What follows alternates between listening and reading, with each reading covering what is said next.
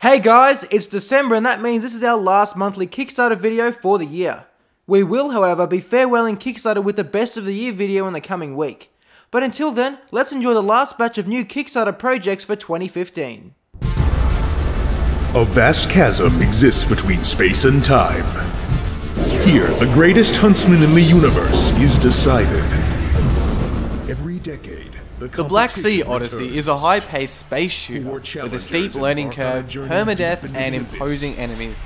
What Playing as your choice Sea of the four huntsmen, begins. you are competing in a tournament to prove you are the galaxy's best. Surfing into the black abyss on your ship, you must contend with fearsomely gigantic monsters. To defeat them, you have a spear for serious damage, a harpoon to tear creatures apart or latch on for a ride, and a thruster to boost out of sticky spots. Your ship and weapons can be customized with runes found in your playthroughs. They not only improve your abilities, but let you change how they work to suit your style, whether that be long range sniping or aggressive takedowns. Blacksea Odyssey is shaping up as an action focused shooter with some roguelike and RPG elements thrown in as well.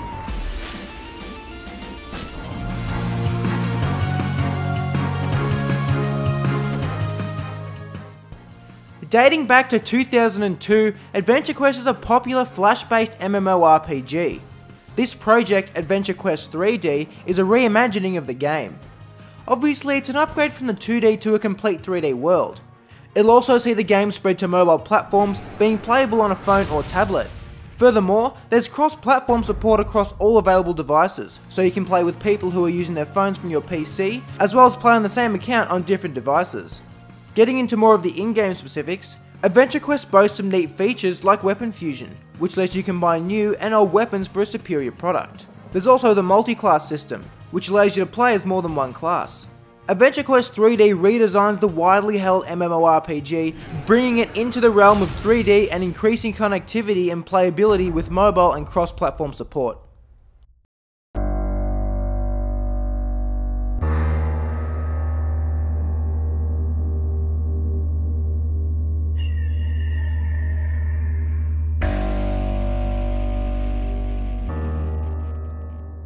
Deserted is an incredibly lonely game. With its dim lighting, dark colours, long camera shots, fogginess, and empty vast spaces, it makes you feel properly abandoned. It's also, amid its great sense of isolation, majestic and breathtaking, much like the upcoming indie title below. What's really shocking about Deserted is that with about two weeks to go on Kickstarter, it's only attracted 50 odd backers and sits far away from its make or break target sum of 30,000 Canadian dollars. If you choose to aid Deserted's flailing cause, you can expect tough combat, supplemented with upgrades for both your Hollow Blade and secondary weapons. Light up the dark with grenades, craft batteries for your guns, and collect and expand your modules to unlock new branches of your skill tree. Your character can be customized to your liking, and if the isolation ever gets too much, you can buddy up with a friend in co-op. Deserted has been ironically and unfortunately deserted itself. Maybe you can help it out.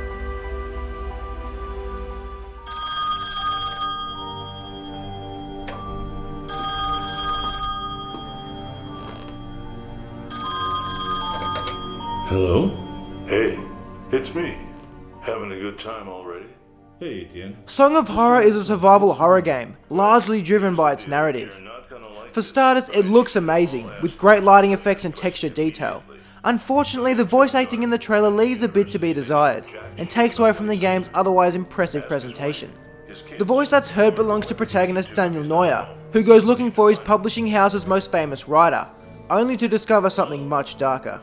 You can play as Daniel, but there's an additional 15 characters to try out, each with their own gameplay quirks and story. Whenever any of these characters die, their deaths will be permanent. This means you cannot play them again and their deaths will affect how the story unfolds.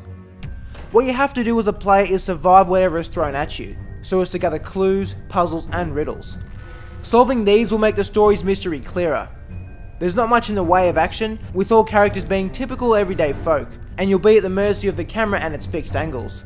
Song of Horrors looks terrific, feels dark, and employs a unique permadeath system to hopefully tell its story in a new and engaging way.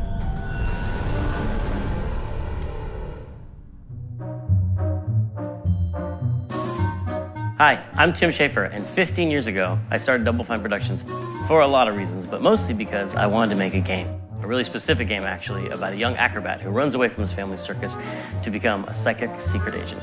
A game where every level is set inside someone's mental world, where you literally fight their demons and wrestle their nightmares.